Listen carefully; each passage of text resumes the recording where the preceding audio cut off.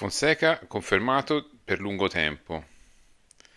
La curva sud risponde e una cosa che molti non sanno su Daniel Maldini. Tutto questo dopo la sigla.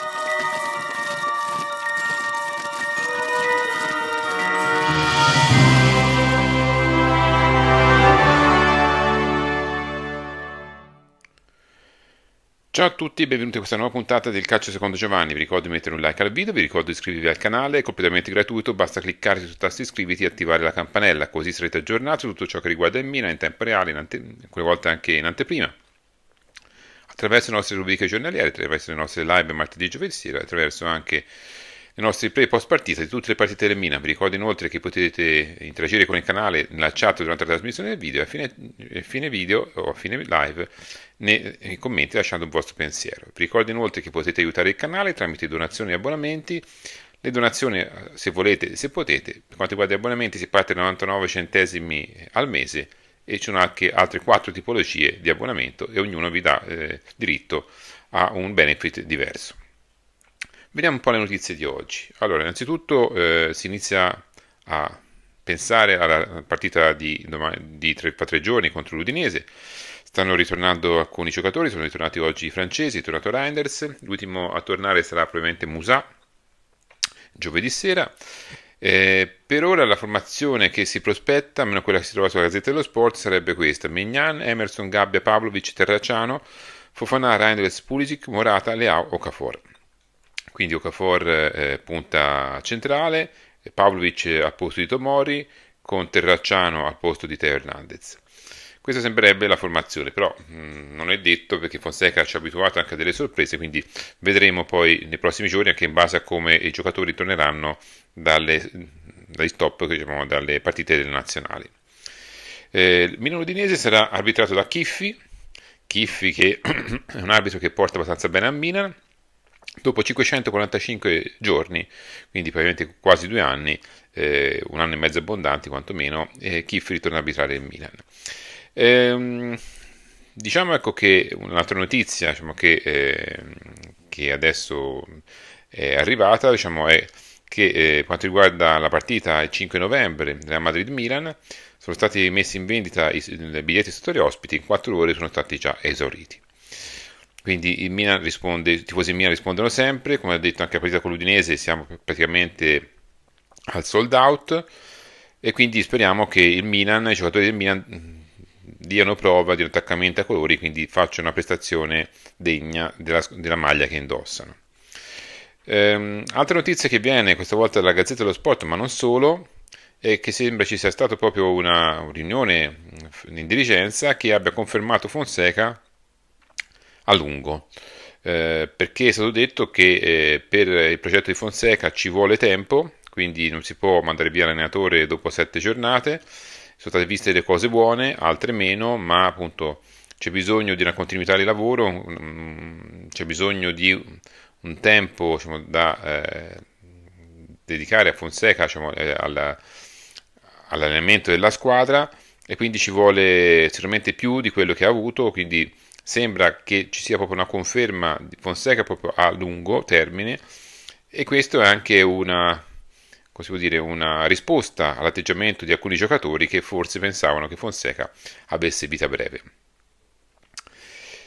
Eh, altra notizia eh, riguarda mh, mm, Calabria, che è stato sentito da, eh, riguardo indagini sulle curve.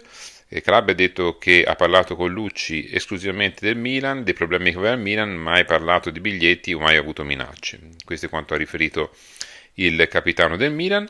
E per quanto riguarda proprio la questione curve, c'è un comunicato uscito ieri della curva sud, che vi leggo, cerco velocemente. Dice: Abbiamo aspettato qualche giorno prima di scrivere parole affrettate perché inevitabilmente avevamo bisogno di tempo per metabolizzare quanto accaduto la settimana scorsa. Vogliamo iniziare subito con una premessa doverosa e sacrosanta. Noi siamo la curva sud, Milano. Noi siamo gli ultras del Milan. Noi siamo quelli che lotteranno fino alla morte per il nostro Milan. Noi siamo quelli che ci sono sempre, comunque e dovunque. Ci saremo ancora, come sempre, a spese nostre, senza regali da parte di nessuno. Eh, noi siamo sempre uno a fianco all'altro, noi siamo quelli che abbiamo subito ogni tipo di repressione e abbiamo sempre tenuto duro. Noi siamo quelli che hanno il Milan nel cuore e vogliono solo il bene dei nostri colori. Noi siamo questo da 16 anni, partendo dagli anni più bui Dopo lo scioglimento dei gruppi storici siamo risaliti al punto più basso per tornare a brillare come le stelle più luminose. Anni in cui ci siamo rialzati grazie soprattutto a quei ragazzi che tutti conoscono, quei ragazzi sbattuti in prima pagina sui giornali, quei ragazzi che sono sempre stati in prima fila in ogni occasione, quei ragazzi che hanno già pagato un prezzo alto per molti degli episodi che oggi gli vengono contestati, quei ragazzi che hanno messo la curva su dell'amore per il Milan sempre al primo posto, in ogni passo e ogni decisione, al contrario di ciò che vogliono farvi credere. Abbiamo cantato con questi ragazzi, abbiamo sofferto e cedito con loro, abbiamo ammirato commossi e orgogliosi le decine di coreografie realizzate in questi anni, tutte autofinanziate. Abbiamo tifato con loro, abbiamo combattuto al loro fianco, loro vi hanno difeso quando vi hanno attaccato. Siamo stati accanto a questi ragazzi quando tutto era più difficile, quando il Mina aveva più bisogno di noi. Noi con loro siamo quelli che abbiamo trascinato uno stato intero a cantare per i rossoneri, noi con loro siamo quelli che in tutta Italia e tutta Europa Abbiamo fatto sentire il Milan come se giocasse in casa e tutto questo va scritto a chi, 16 anni fa, ha creduto fermamente nel sogno di, vivere, di volere la curva sud unita, senza più divisioni, nel progetto che portasse ad una coesistenza serena che coinvolgesse tutti i tifosi rossoneri, ultras, club e persone che frequentavano autonomamente lo stadio, portando la tifoseria rossonera ad essere tra le più ammirate, amate e rispettate d'Europa. È questo ciò che, per, per, che, per, noi conta, è questo ciò che bisogna riconoscere anche e soprattutto a questi ragazzi, ed è tutto ciò che qualcuno invece vuole farvi dimenticare. Ora è il momento di stare ancora più uniti e compatti. Ora è il momento di stringere i denti e resistere insieme come abbiamo sempre fatto, per andare avanti insieme, perché ci vogliono divisi uno contro l'altro, ma sanno bene che in tutti questi anni abbiamo dato vita a una seconda famiglia che ha accolto migliaia di ragazzi e l'ha portato per mano a percorrere chilometri in giro per l'Europa al fianco del diavolo.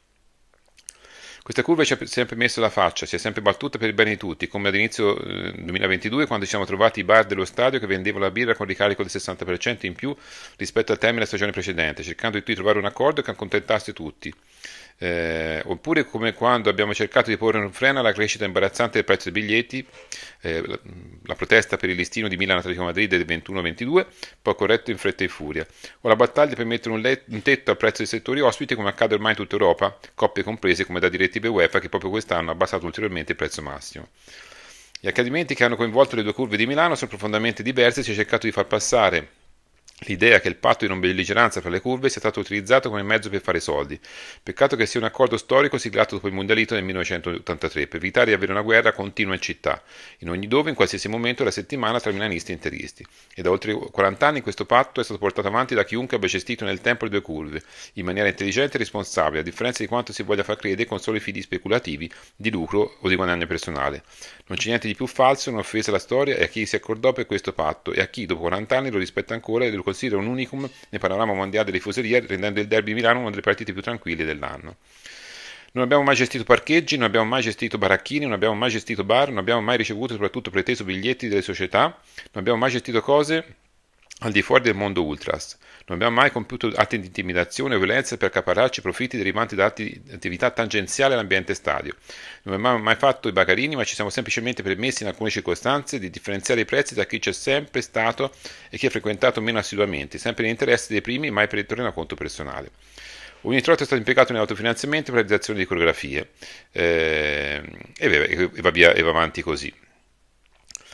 Eh, stiamo assistendo a una vergognosa campagna mediatica di giornali tv che tendono a fare i minestroni infangando ragazzi al solo scopo di fare audience.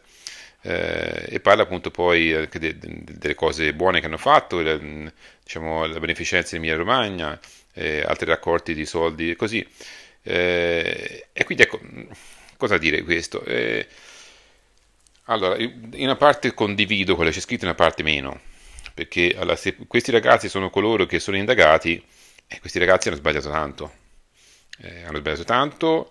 Eh, io non penso che eh, condanne ripetute eh, siano dovute al caso a un accanimento verso i loro confronti. Penso che ci siano delle prove, penso che i giudizi che sono stati dati su queste persone siano derivanti da prove. Adesso poi quello che sarà nel futuro ci sarà un nuovo giudizio, se, se ci saranno delle prove saranno condannati, se ci saranno delle prove non saranno condannati.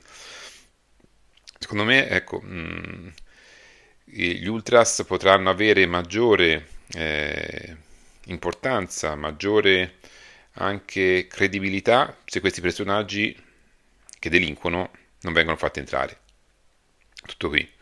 Eh, cioè non mi si può far passare questa gente come dei eh, persone sfortunate che, mh, mm, e che loro hanno portato bene a Milan, può darsi, può darsi, però io, sinceramente io la persona non giudico tanto adesso per il bene che fa il Milan, ma la persona la giudico per quello che fa nella società. E se questi hanno spacciato droga, se questi hanno fatto traffici, eccetera, illeciti, è giusto che paghino e sicuramente non vanno eh, messi su un palco a, a prendere l'applauso della gente. Ecco se gli Ultras riusciranno a ripulirsi di questi personaggi che sono non solamente a Milano, eh, eh, sono anche da tante altre parti, allora diventeranno più credibili. Fino a che questi, questi, gli Ultras saranno capeggiati queste persone, la credibilità sarà notevolmente inferiore. Veniamo poi all'ultimo argomento, parlo di Daniel Maldini. Ebbene, eh, logicamente con la convocazione nazionale di Daniel Maldini si sono riproposti eh, le critiche alla società che ha svenduto Maldini, che non ha preso niente, eh, che sono degli incapaci, che sono eh, della gente che non sa nemmeno vendere i propri giocatori, eccetera, eccetera, eccetera. Eh, io ho già detto che se Daniel Maldini fosse rimasto a Milan non avrebbe giocato, non avrebbe giocato perché era logico che non giocasse. Quindi il Milan ha fatto bene a farlo giocare a Monza. Eh, la cosa che non si sa, che anch'io ho scoperto da poco, è che oltre il 50% della futura vendita di Maldini, il Milan ha la priorità di acquisto. Cioè, se al Monza, se Monza deciderà di vendere il giocatore e al Monza arriverà una offerta, se il Milan la pareggerà, la prenderà il Milan, Maldini, scusate, Daniel Maldini. Quindi non è che è stato lasciato così.